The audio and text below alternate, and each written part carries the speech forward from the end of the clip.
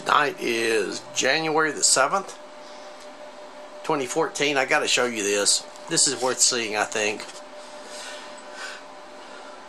This is a really nice little Fender amp with uh, 6V6s in the output. And it was brought to me by the customer and it goes into some terrible howling fits and what have you. I don't know if you can see it here, but I've got one tube. This one right here is labeled as left, and this one is labeled right. Well, this one was on the left, this one was on the right, and I took some pictures of it, but I'm not going to try to duplicate everything here because uh, it, it's pretty uh, easy to for me to show you what's going on. Okay. Uh, everything's working great. Here's its sine wave output. Here's its uh, voltage and power. This is its power up here across 8 ohms. This is its uh, voltage. If you square that divided by 8, you'll get that number. By the way, I got it into my monster load down here. But anyway, watch this. I'm going to... Uh,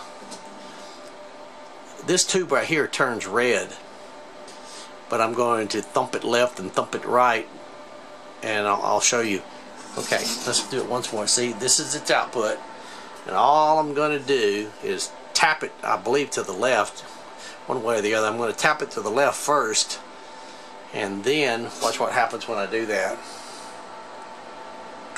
Yep see there? Look at there. I mean that is so easy to duplicate that it's just hard to believe. It is that. Let me let me turn out the light and you'll you'll, you'll see even more. Watch what happens. See that tube starting to turn red I think it looks blue in the camera but it's actually red. It's just a bad tube socket and it's probably on pin 5 because that's it's probably losing its bias voltage. See there's its output again.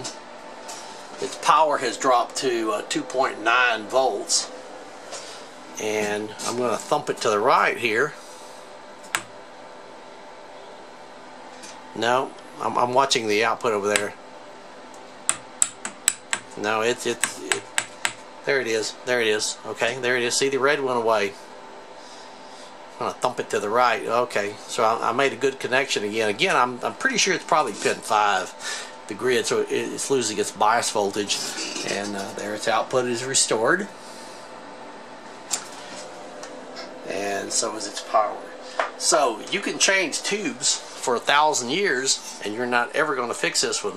So what I'm going to have to do is just simply pull the chassis out and tighten up the pins and clean them and that kind of thing. It, it's a mechanical problem it's what it is. So there it is. You can change tubes as, until uh, the cows come home and you'll never fix this amp until you just kind of sit down and play with it for a while and figure out what the real problem is. Hope this helps.